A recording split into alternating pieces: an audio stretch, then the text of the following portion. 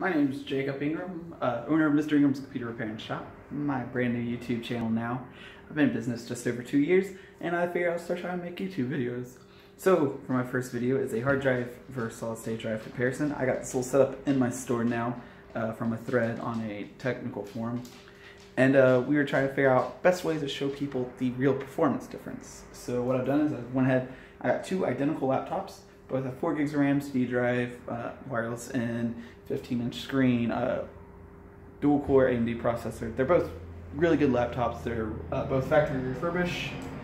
When I have them set up, uh, new hard drive, new SSD. Hmm, one has hard drive, one has an SSD.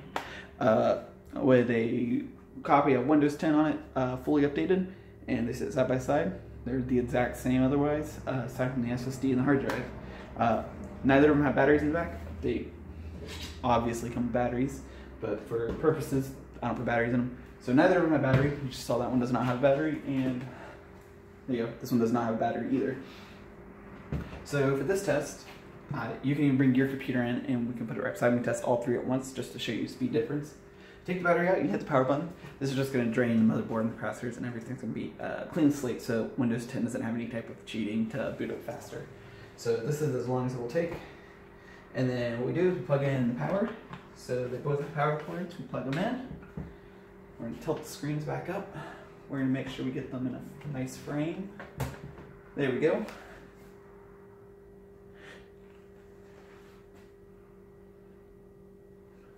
And then we're gonna hit the power button at the exact same time. You're gonna see boot speed difference. So one, two, three. And you're gonna see at first the BIOSes are gonna start about the same speed.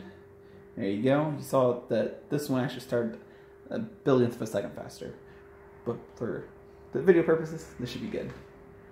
And you're gonna see, we already got this one uh, with the welcome screen. This one's still black screen loading. They're both on welcome screen. And now this one's already in desktop. And so we're waiting for this one. It's gonna take about an extra six, seven seconds to uh, get over to the desktop and then there we go. Now they are both fully booted up. And that is the big difference between an SSD and a hard drive is boot time difference, seat time difference. Your computer will just generally run faster with an SSD over hard drive if you can afford the small price tag difference. Got any questions? Of course, give me a call or stop by the store or go ahead and leave a comment down below. Thank you.